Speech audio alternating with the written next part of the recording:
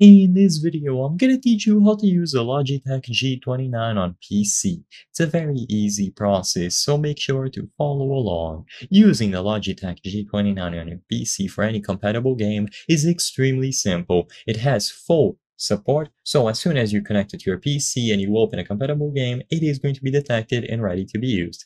So first, connect the Logitech G29 to your PC using the provided USB cable. So plug the USB cable from the G29 base into a USB port on your PC.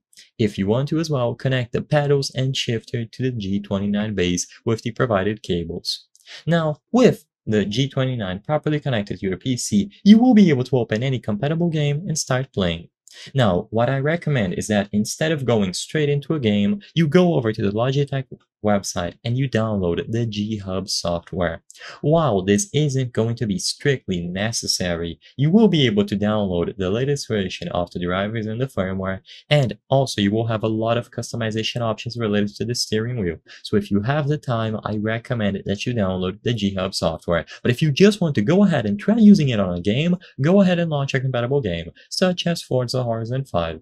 Inside of the game, regardless of what it is, you will be able to go over to the controls options and if it has native steering wheel support, it is going to be available under the input devices. So choose to use the steering wheel or the G29 and you will be able to use it when you go inside of a race or any game. You will be able to customize the sensitivity, force feedback, and other options about the steering wheel and start playing right away.